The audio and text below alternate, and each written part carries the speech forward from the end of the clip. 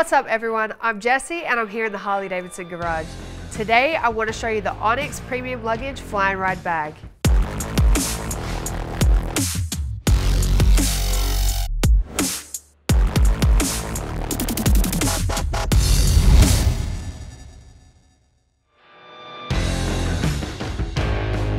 The Fly and Ride is the perfect carry-on bag to stow your belongings when you swap your two wheels for wings. With 2,450 cubic inches of capacity and dimensions of 14 inches wide by 9 inches deep by 22 inches high, it not only allows you to bring whatever you need, it can also fit in most commercial aircraft bins. Let me show you the interior. The inside of this bag is orange, so not only does it make it easier to see the contents, it also looks pretty cool.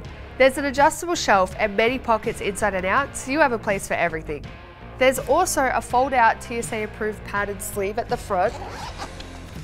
This can hold a 15 inch laptop and another sleeve to stow a tablet.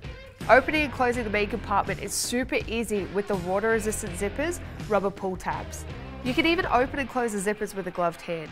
This bag also has heavy duty roller wheels and an extendable locking push button handle for increased convenience.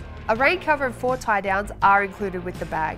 This bag does come with installation instructions, but if you are a visual learner, keep watching because I'm going to show you how to secure the bag to your motorcycle. The first thing you'll do is position the bag on the passenger pillion seat or luggage rack. Attach it using the hook and loop straps on the back of the bag.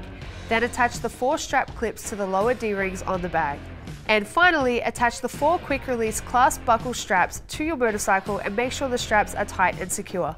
Please note that installation does require a sissy bar upright and a backrest pad, and a luggage rack is required if not mounting on a passenger pillion. For this and any other genuine Harley Davidson products, visit harleydavidson.com or any authorised Harley Davidson dealer.